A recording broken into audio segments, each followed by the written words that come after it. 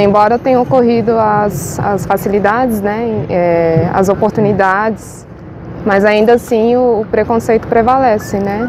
É, a gente está aí nessa luta para que ainda assim a gente conquiste nosso espaço na sociedade, né?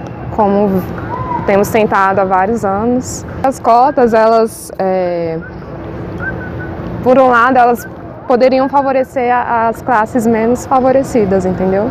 É, as, aquelas pessoas que têm menos oportunidade, que não têm um, um poder aquisitivo é, em maior grau, mas ali você está todo mundo incluído, independente do nível social.